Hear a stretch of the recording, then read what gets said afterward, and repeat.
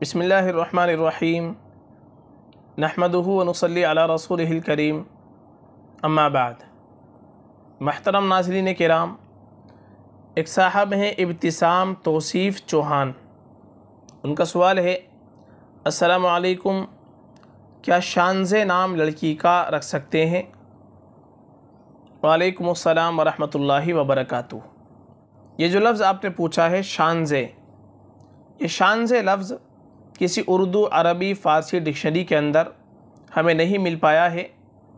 ये नाम बज़ाहिर मुहमल नाम मालूम होता है, इसलिए ये नाम रखना मुनासिब नहीं है।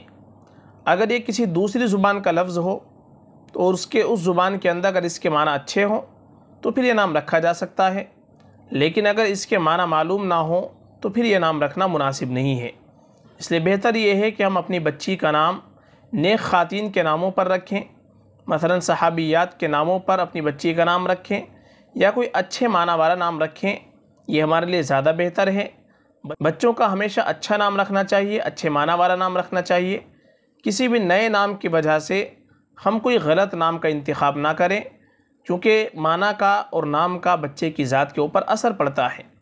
इसलिए शानज़ नाम जो है, ये किसी उर्दू, अरबी, फ़ारसी डिक्शनरी के अंदर जो मुतदाविल ज़ुबानें हैं, उनके अंदर तो ये लफ्ज़ इस्तेमाल नहीं होता, ये लफ्ज़ हमको नहीं मिल पाया है।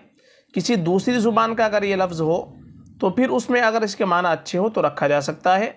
बाकी चूँकि अरबी, उर्दू, फ़ारसी डिक्शनरी में ये लफ्ज़ हमको नहीं मिल पाया है, ये नाम रखने का हम मशवरा नहीं दे सकते।